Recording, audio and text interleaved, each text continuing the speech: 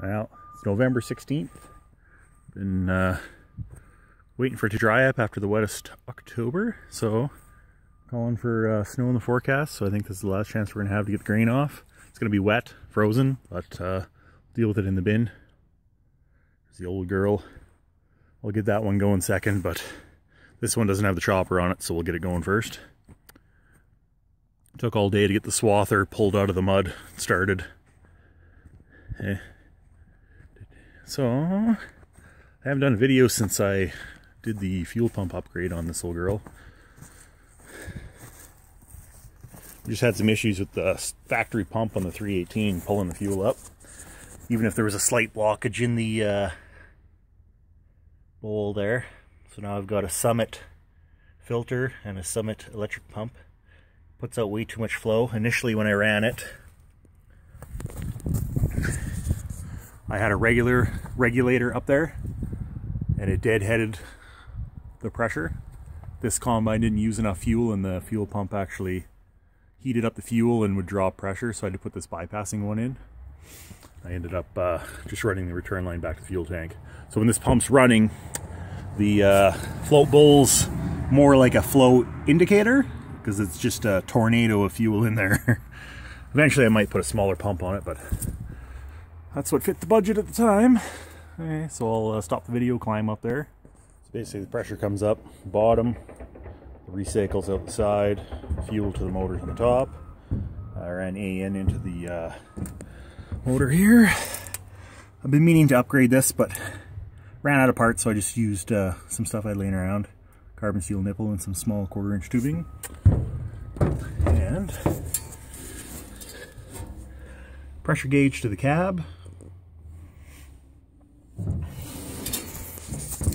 This thing hasn't started in, ooh, eight weeks, I believe. I'll uh, climb in the cab and uh, try it. I haven't checked this battery, it might be dead, but we'll find out. Ooh, check the oil. This is probably gonna be black. Uh, a little red.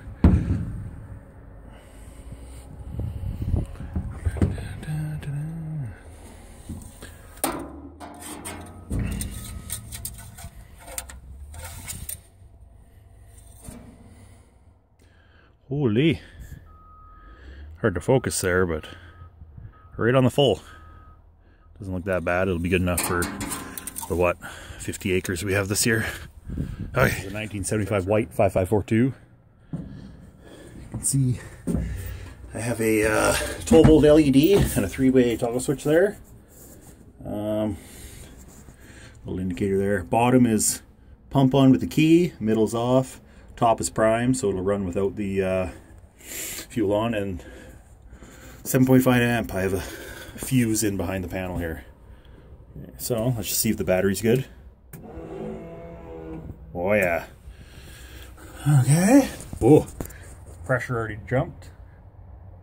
So let's choke her and try it.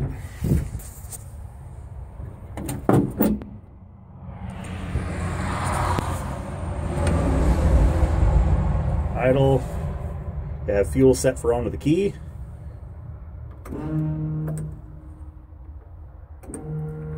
Yeah, okay, let's try this.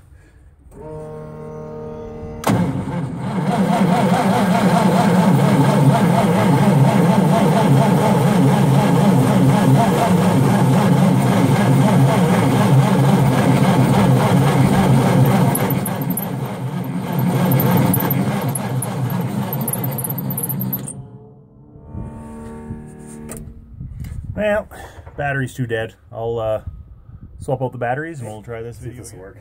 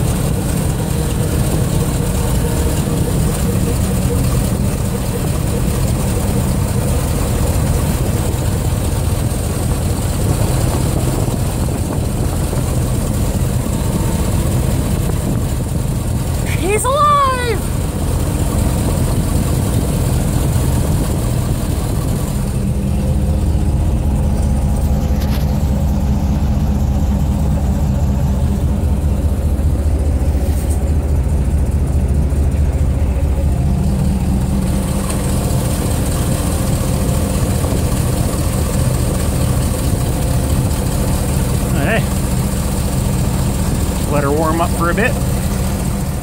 The old CVT. Woo!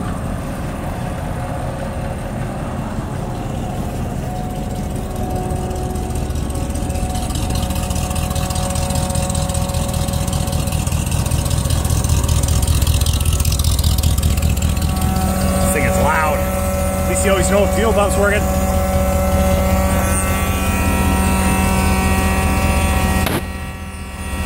Flow indicator. Ah.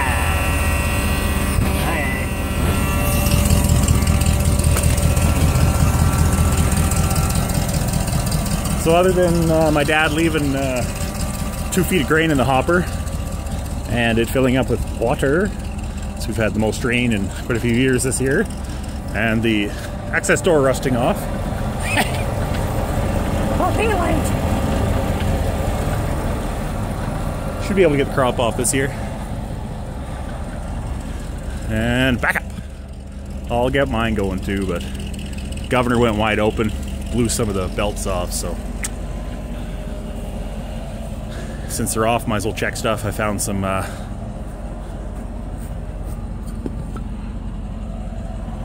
uh, missing ball bearings.